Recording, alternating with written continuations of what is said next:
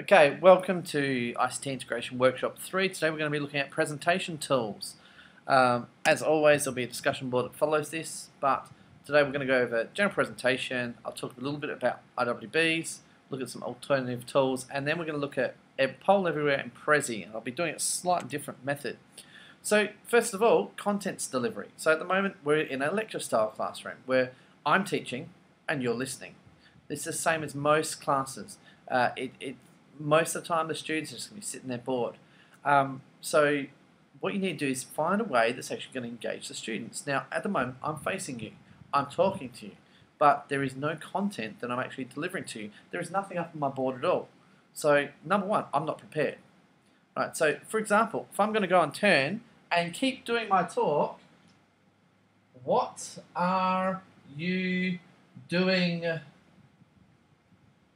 while my back is to you. Okay?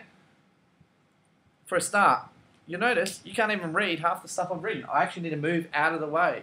So you either need to learn to write like this, or if you're left-handed, so on. Or, and also the other thing you notice is when I've got my back to you, you can't hear what I'm saying. So this style, very poor, very, very poor method. So think about your presentation sense. The better organized you are, the better it's going to go. Now, we're going to do something just a little bit different. Um, what I'm going to now dem do is demonstrate Prezi. So the rest of my talk is actually about these stuff. I'm actually going to do Prezi. And to make it harder, I'm actually going to build the talk as we go through. So let's get started. Prezi, by the way, is an online uh, presentation tool. Um, I've already set one up here. It's blank. So I'm actually presenting same way as I would the, on the interactive whiteboard. And you would, I would expect that you would do this beforehand. I'm doing this now, so not only am I giving the talk, you can also see what I'm doing. So I'm first of all, I want to pull in some files. I want to pull in the stuff I want to discuss. And what it's doing is it's it's downloading all the pictures that I want. Right. So you remember how hard it is to set up a a, a, uh, a presentation uh, using a PowerPoint? Well, this is a lot easier. Overhead projector, that one goes there, tablet, uh, interactive whiteboard, oops, I do not want this one, delete, goes to there, whiteboard, yeah right, so this is a Prezi, um, and what I've done is just dumped in pictures. Now they could be files, they could be uh, screenshots, they could be information, whatever. Once you've got your wall, so this is actually, if you can imagine, a giant wall where you can have as much as you want or as little as you want. Once I've got what I want, I'm then going to go path and go, I want to talk about that, and then that, and then that, then that, and then that, that, that, that. Right, very simple. Now, because the pathway is already designed, I can actually now go back. I can just grab any one of these and move them, and it won't make any difference. The path is still the same.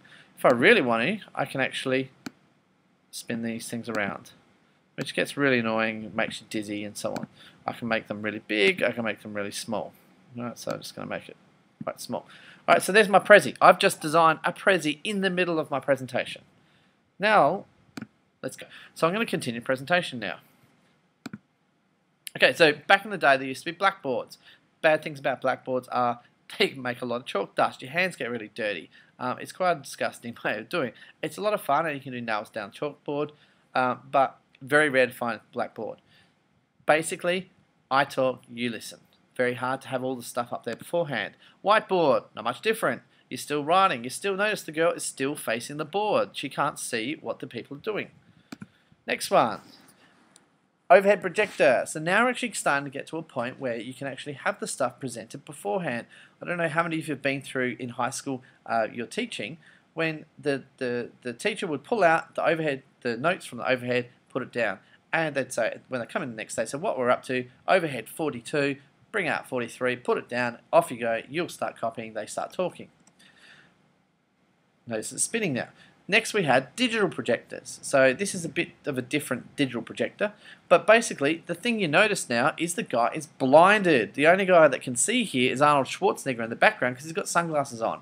If you've got a digital projector that's aiming at your face, you won't be able to see.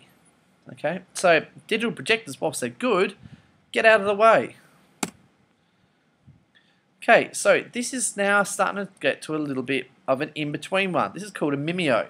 Um, basically, it's a type of interactive whiteboard where basically, um, and you can see here, this is the receiver.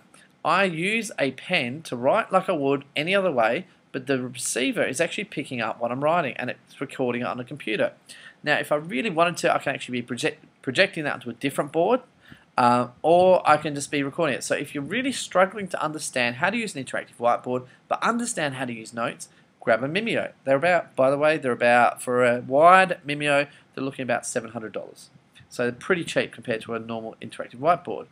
Um, the good thing is, uh, and the thing that I noticed when I used to use a Mimeo is all my lessons are recorded. If I use a normal whiteboard, as soon as I rub it off, it's gone. This way, at the end of the unit, I can pass on the recorded notes to someone else. Next, interactive whiteboards, the real thing. So now you can actually see that these are students using an interactive whiteboard. This to me looks like a smart board, same as you've got up in the Marjorie Banks room. Now you're all doing some interactive whiteboard training during the year, so I'm not going to go into it in great detail. Some of the problems, shadows, you can't actually see what you're writing. They're still facing the board. Is this good? Is this bad? Well, the one good thing is the content is already up there and now the students are at the board. So the teacher can step away and deliver the work, the work in a bit of a different way. Okay, moving on. Tablets. Okay, so now we're starting to get a little bit better. Back here, this is actually a tablet for a Mimeo, but we've got the border way over here. The guy can stand, or the teacher can stand at the back and write. However, as he's writing, he still has to look at the board. The good thing about this one is you can pass the tablet to a student without them having to get out of their chair, and they can contribute. So it feels like so now you're actually stepping back to within the class.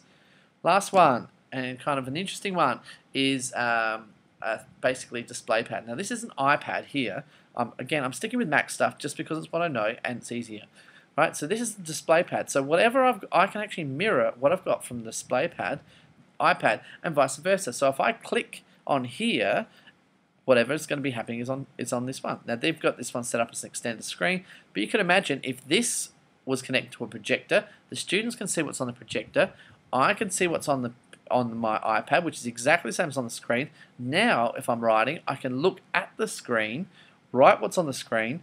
It comes up on the computer. It comes up in front of the class. So I can walk around the classroom writing my notes. I can walk to the back of the room, stand next to the students at the back, stop them swinging on the chairs, and and ask them for what they want to say. Maybe even get them to write some notes. I can even walk out of the class and continue working. Okay, so that is my Prezi presentation. Okay, so I've just explained different tools that you can use to, for a presentation. Now, a Promethean, a Mimeo, or a tablet that you plug in are all really just big mice. Uh, interactive whiteboards, you're normally looking at about six to ten thousand dollars. Now, do you really need that when you can connect your computer to a projector and just type on the screen rather than actually walking up in front of the board? Now, the reason why interactive whiteboards are so good is because they actually have lots of software. Now, this here is basically my whiteboard screen that I'm working from. I have a whole heap of tools down the side, so my mouse is just for moving and stuff, or I can draw and say hi or whatever. Now, I'm typing with the mouse, so it's quite hard. Um, drawing programs, right, whatever. So very, very, very simple programs. Uh, very simple tools. Um, they can get up very complicated though. So I can actually go hand handwriting recognition. There are three real layers to this tool. Um, first layer is the background. So if I make the background black and I try and write in black, um, it's not going to work. However, I've got you have your background layer, then you have your object layer, then you have your writing layer. So if I now move over, there's my writing. So you can actually use this as a way of actually, of engaging the students. You might have some things that appear. You might have a, um, you know, you might have things things that appear or disappear, or um, the the names come out when the students click on them, so on. There's lots of different tools everywhere. It's a um, online servicing or question and answer tool. Um, great for in a classroom where you've got students with iPads um, like this, phones, computers, whatever, whatever device. Now, I'm I'm just in the question at the moment, and I want to I want to ask a new question, create a new poll. The question is something simple like, does this work? I'm not going to worry about question marks or anything, but I am going to turn it to a multiple choice, yes or no. Now, if I actually hit continue, what you should see is as this is being set up, I'm watching, I'm waiting, and there we go. So each of these screens have changed. You may, may be difficult to see, but each of these screens have changed to actually coincide with the, the question that's changed. now, if I actually bring up this one, does this work? Yes, it was working here. So that student submitted that thing, and it goes back to the website and comes up on my screen on my computer. Um, equally, if these guys do the same thing, oops, sorry, missed that one. Right, they're submitting their ideas, and you can see the ideas are starting to come up. This guy's a bit of a pain in the butt. It's one of those kids that always wants to buck the system. Okay, and there we go. So I've had five responses. One person's put no, the rest have put yes. Now you can imagine if you're just gone over some some kind of quite difficult concept, and you've actually wanted to see if the students understand. This is quite so this here is quite good. It means that most of the students have understood what we've been saying. One of them says no. The good thing is that this can actually be done on any machine that can go on the internet. Um, will actually do this, and even a, you can either bring up a text response or um, from a mobile phone, even an old phone. Um, you can also use Twitter. You can use lots of different things, and I'm going to show you how to set it up for yourself. So if I log out, okay, pricing is important because for uni students so it's free to sign up for 40 people. As long as you've got 40 people or less in your class, you're fine. If you've got more than that, you're in trouble anyway. So I want to sign up. Put in your full name, email, password. Simple as that.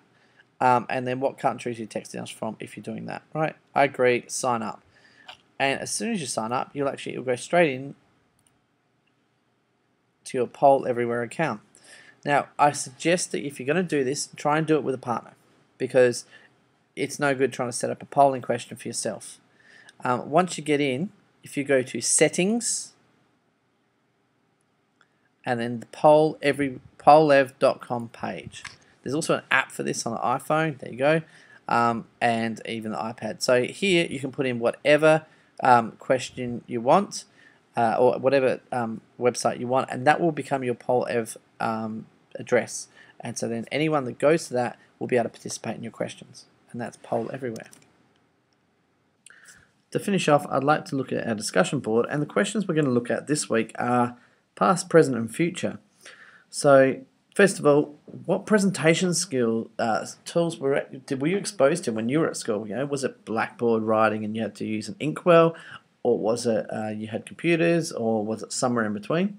Secondly, how are you going to present to your students? Because you will have your own specific way that you present. You may prefer to use a whiteboard. You may prefer, want to use an interactive whiteboard. You want to use an overhead projector or PowerPoint or Prezi, whatever. And finally, uh, after practicing with Poll Everywhere and Prezi, how would you integrate these tools in the classroom? Now, remember, you don't want to use them as a gimmick. You actually want to be using them as a tool. So the most important thing is the stuff that you're testing or the stuff you're presenting, not the actual tool itself.